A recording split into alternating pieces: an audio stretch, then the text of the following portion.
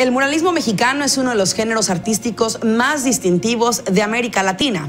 Tuvo sus primeros indicios en la época prehispánica con coloridas obras que hoy todavía se pueden admirar en Cacaxtla, Tlaxcala.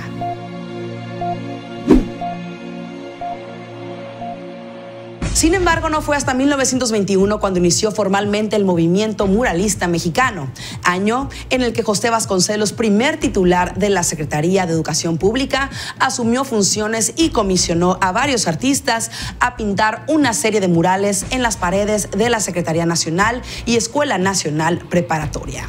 Fue así que un grupo de intelectuales y pintores mexicanos usaron el arte como herramienta educativa y de transformación. A partir de ese momento, la Escuela Muralista Mexicana comenzó a adquirir prestigio internacional, no solo por ser una corriente artística, sino por ser un movimiento social y político de resistencia e identidad, que propone la producción de obras monumentales para el pueblo en las que se retrata la realidad mexicana, las luchas sociales y otros aspectos de su historia, como la revolución. De hecho, el muralismo no surgió en un vacío.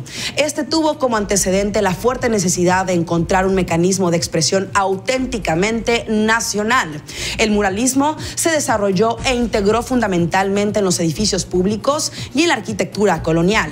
Los muralistas se convirtieron en cronistas de la historia mexicana y del sentimiento nacionalista, desde la antigüedad hasta el momento actual.